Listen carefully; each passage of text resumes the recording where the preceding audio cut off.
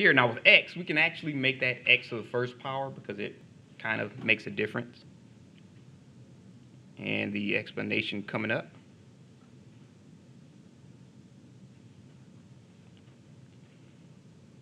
Okay, so if you see x, if you notice as x keeps getting bigger and bigger and bigger, so as it's going further to the right, this f of x is going to get bigger and bigger. So you see f of x equals infinity. I mean, not equals, gets closer to infinity. As your x gets bigger and bigger and bigger. So as x gets really close to infinity, or gets closer. I don't know how If you can get really close to infinity.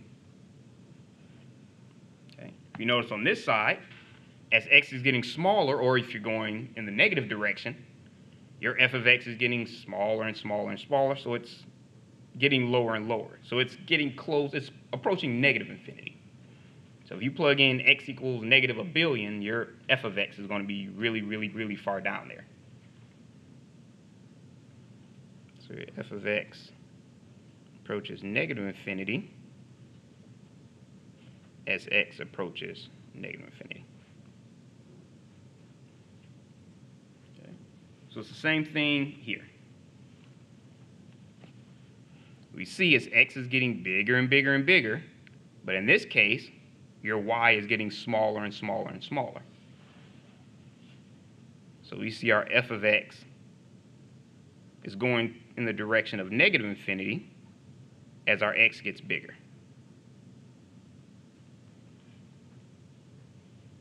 Okay. What we can see on the other side is x gets smaller and smaller and smaller, our y is going to keep getting bigger and bigger and bigger. So f of x approaches positive infinity as x goes, uh -oh, goes in the negative infinity direction.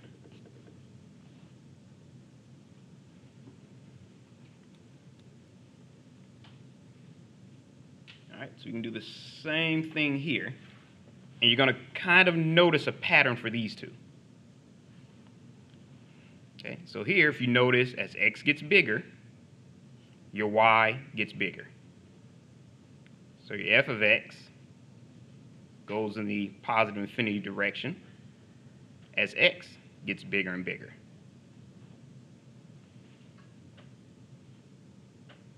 Okay. But if you notice as x is getting smaller and smaller and smaller, your y is getting smaller and smaller and smaller.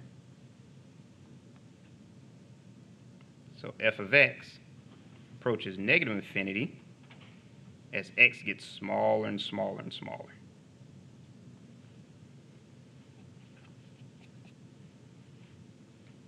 Okay. Now for this one, you notice, uh-oh, put on the wrong side. That as your x gets bigger and bigger and bigger, your y is getting smaller and smaller and smaller. So your f of x approaches negative infinity